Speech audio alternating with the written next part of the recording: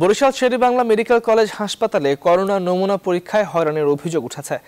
পাঁচ ঘণ্টা নমুনা সংগ্রহ করার কথা থাকলেও মাত্র এক ঘণ্টা সংগ্রহের পর ফিরিয়ে দেওয়া হচ্ছে অনেককে। এই অবস্থায় উপসর্গ থাকলেও পরীক্ষা করাতে পারছেন না তারা। এমনকি অতিরিক্ত অর্থ আদায়ের অভিযোগ রয়েছে কর্মচারীদের বিরুদ্ধে। কোনো অনিয়ম পেলে যথাযথ ব্যবস্থা নেওয়ার আশ্বাস দিয়েছে কর্তৃপক্ষ। রাহাত খানের তথ্যচিত্রে টেক্সট রিপোর্ট। গেল কয়েকদিন ধরেই বরিশালে করোনা সংক্রমণ ঊর্ধ্বমুখী। এ কারণেই শেরেবাংলা মেডিকেল কলেজ হাসপাতালের করোনা ইউনিটের সামনে নমুনা পরীক্ষার জন্য ভিড় জমাচ্ছেন মানুষ। তবে পরীক্ষা করানোর সুযোগ মিলছে হাতে গোনা কয়েকজনের।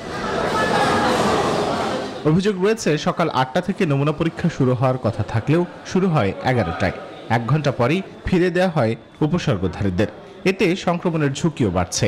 আবার নির্ধারিত সময়ে করোনা পরীক্ষার ফলাফল পাচ্ছেন না অনেকেই। এমনকি অতিরিক্ত অর্থ আদায়েরও অভিযোগ রয়েছে কর্মচারীদের বিরুদ্ধে।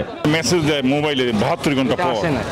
যে আমার মেসেজ দেয় না বিদে আজকে আমার আমাদের হয়রানি করে আওয়া লাগছে তিন চার জায়গায় যাইতে যাইতে প্রায় এখানে ঘণ্টা দুই তিন কাইটে যায়। একশো টাকা ফি এখানে তিনশো টাকা চাইতেছে কার তিনশো টাকা? এখানে লোকজন? আমি একটা জিনিস জিজ্ঞাসা করতে পারি। ও শোনে নাই বিদায় দ্বিতীয়বার তাকে কোশ্চেন করছে।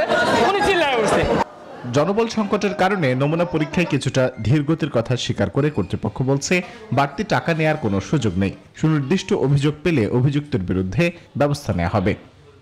টাকা নেওয়ার কোনো স্কোপ নেই। টাকা নেওয়ার কোথাও কোনো স্কোপ নেই। কিন্তু তারা প্রকাশ্যে নিচ্ছে এবং সেরকম কোনো অভিযোগ যদি আমাদের কাছে আসে আমরা অবশ্যই এটা দেখব। শেরবাংলা মেডিকেলের করোনা ওয়ার্ডে ফ্লু কর্নারে প্রতিদিন গড়ে একশো পঞ্চাশ থেকে একশো ষাটটি নমুনা সংগ্রহ করা হয়। এর মধ্যে র্যাপিড অ্যান্টিজেন পরীক্ষা হয় তিন থেকে পাঁচটি। বাকি নমুনা পরীক্ষা হয় মেডিকেল কলেজের আরটিপিসিআর ল্যাবে। Desk report, news twenty